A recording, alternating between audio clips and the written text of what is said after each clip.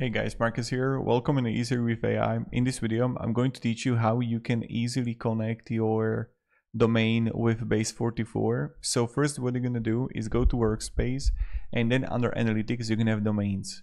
There, you're going to click Add Domain and then you're going to enter the domain here. So you're going to write the domain and I have it right here, websitetao.com.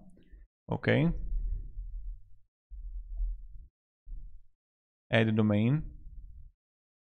And now as you can see we added here. So we now we have to add all these things. So first we're gonna come and write cname www and then you're just gonna copy the base 44 uh, on render. Do you see that? You copy that.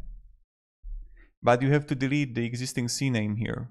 So I'm gonna delete the existing cname because I can't add this one okay and now we're gonna write again www add record. So we have the cname first thing is done. Now then we're gonna write like add a name alias and you want to add this and you want to check if you're able to do it. I can add a name and alias. So i'm going to add an a and i'm going to also add this thing here and then also this thing here. Okay and now we're gonna have also the A there. So we have also the A. Now remove any AAA records from your domain while configuring DNS. So we're gonna check if you have any AAA. Now if you're gonna find any AAA, you need to remove them and you need to delete them.